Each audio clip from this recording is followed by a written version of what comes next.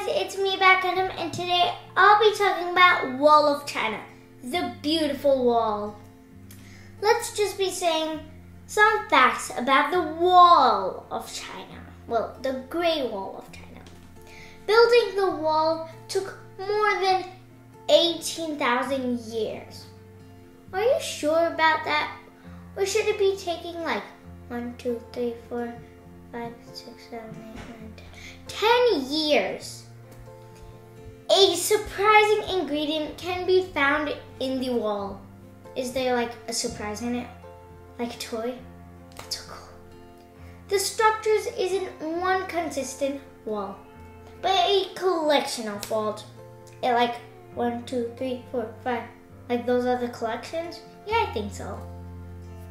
Wall construction was a common punishment for Chinese convicts.